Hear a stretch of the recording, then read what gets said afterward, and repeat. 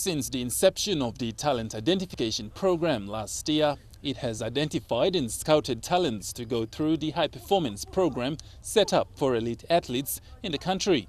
Today saw 32 young men from Don Bosco Technical College go through strength and conditioning tests to check their fitness levels. Let's go. Touch. Nice. Push, push, push, push. The program was set up in two parts, one in class theory activities and the other being the practical which was held indoor.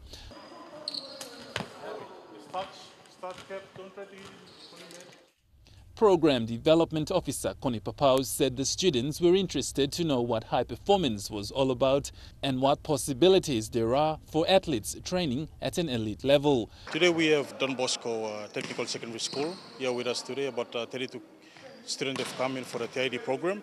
Uh, the program is all about uh, trying to identify this, uh, the natural talent that we have, and then we'll try to work to optimize this talent through our education uh, sessions and covering topics on personal development, uh, growth, growth mindset, uh, nutrition and health, and leadership.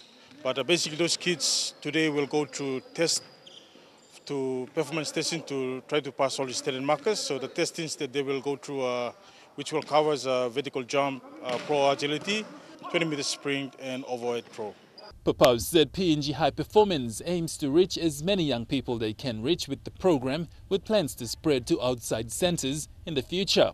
I think the second phase of this program is once those uh, the students have come in and have passed all these uh, performance testing result, will have few of them, few of them will be will be invited again into the High Performance uh, Center of Excellence uh, after Easter to go through into the training program. That's the second phase of it.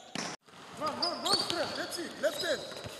That's it. Good. Finish him. Students selected from today's identification program will go through to the next step before joining the elite level. The program will continue tomorrow with Gerahu and Jubilee Secondary Schools.